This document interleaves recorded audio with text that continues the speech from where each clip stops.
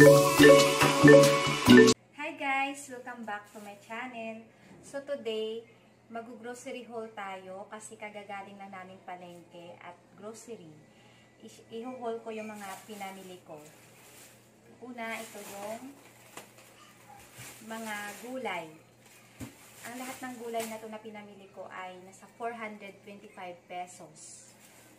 Natin. Petchay. Petchay. Ilang piraso, ilang tali? Baka naman side. Tatlong tali ng petchay. Pila ang bala nyo? 100. 425 lahat to. Tapos ito yung ampalaya. Ampalaya, dalawang piraso. Yung kilo niya is nasa 135. So, dalawang piraso yung binili ko. Tapos, ito yung patula para sa miswa na gagawin ko. Nalulutuin. Opo, miswa lang ba? Yan. Yes, Quincy, say good morning sa kanila dito. Gusto mo? Halika. Oh, say hi. Good morning. Maguhol tayo. Oh. Tayo. Ito naman. Si. Hi! Good morning! Naguhol kami. Oh, wait lang ha, malalaglag ka. Tapos mayroon tayong Baguio beans. Bag of pink? Yes. Why bag of pink? Para to sa linagang baboy na lulutuin ko. At saka, be careful. Urong ka dito. What is the color? Yeah, later, tuhol muna natin. Meron tayong cabbage o repolyo. Cabbage bag of Yeah. Mm. Dito is black pepper. Para naman to sa aking minudong lulutuin mamayang gabi. Ay, black pepper. Sorry. Bill pepper pala to. Okay, kasi iwawash pa lang. Tapos ito, ang sayote. Para din to sa itlog na lulutuin ko pang morning. Ito yung minimix ko. Parang para sa itlog na lulutuin ko. Masarap siya. Next, ito para sa ating minudo yung patatas or potato. Para sa potato tsaka sa dilaga, apat. Apat na piraso. Tsaka, mayroon tayong, what's this?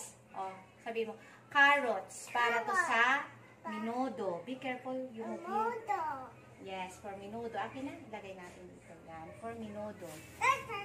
Okay, next, next we have onions. onion. Oh.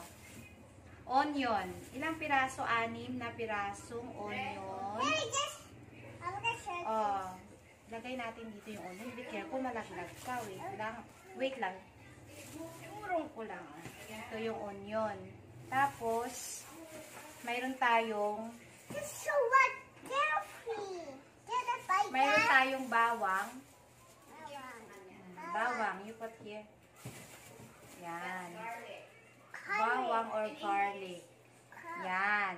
Apat na piraso. Wait lang ha. Wait lang. Kasi iwawash pa natin yun. Next. Ito na lahat yung aking pinamili na gulay sa palengke. 425 pesos ito lahat.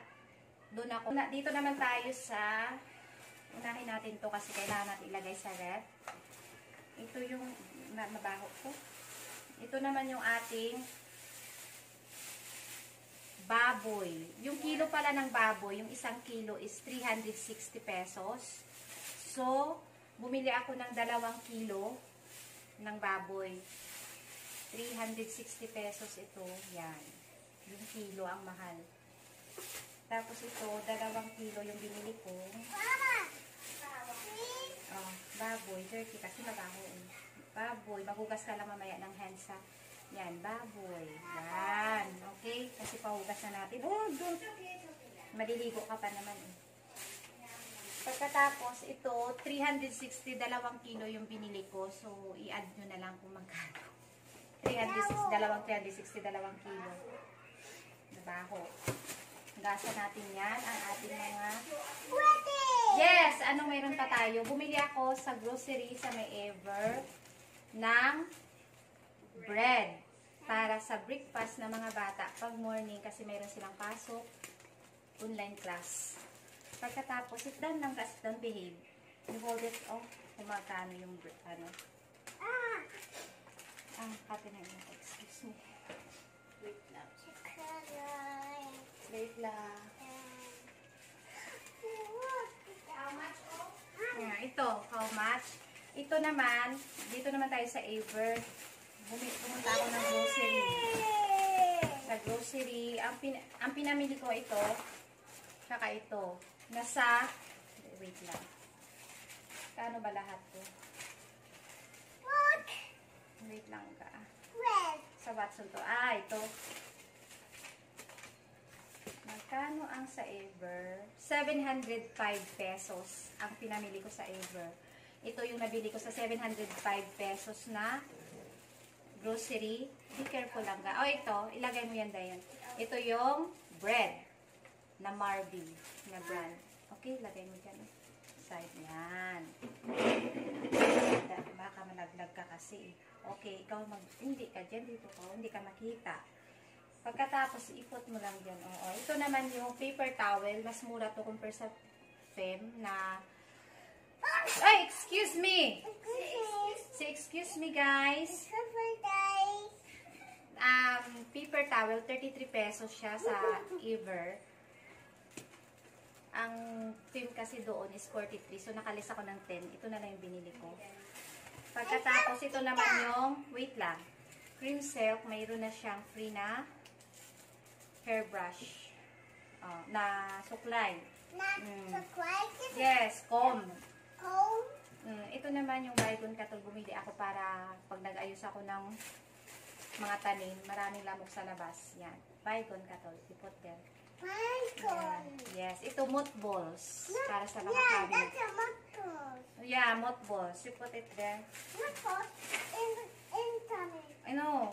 In the cabinet.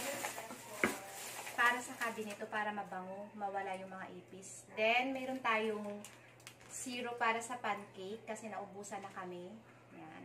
Ay, ikaw, lagay na to. Tapos, oh, be careful lang I'm sorry, I'm sorry, sorry. Okay, okay. Mayroon tayong tulip, pork luncheon meat. Hindi ko pa ito na-try.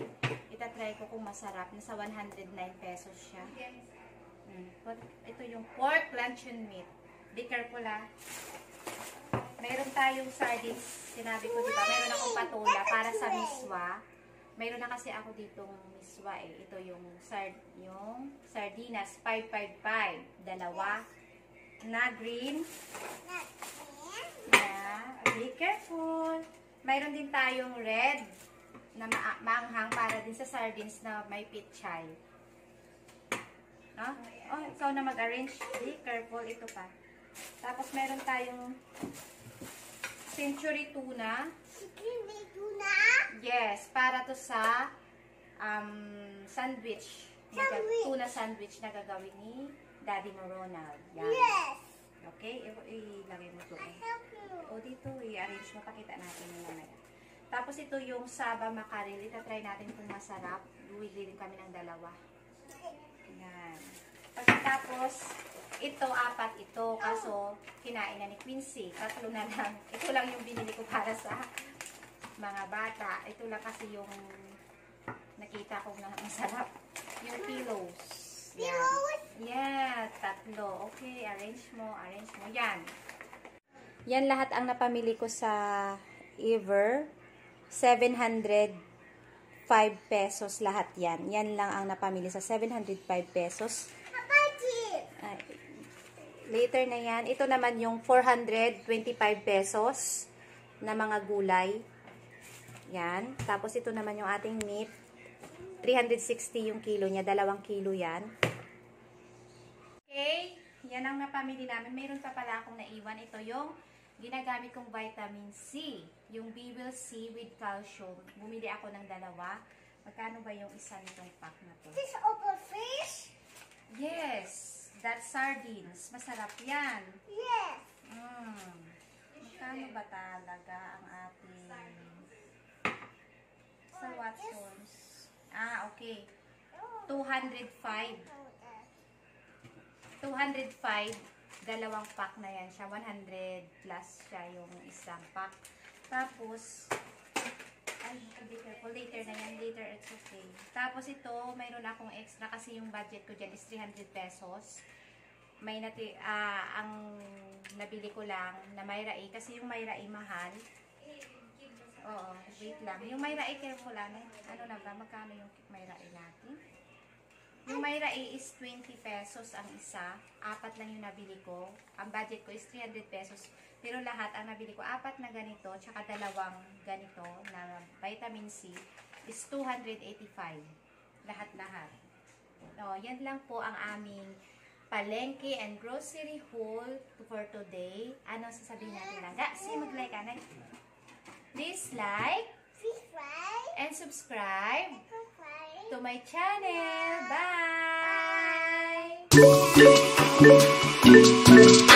Bye!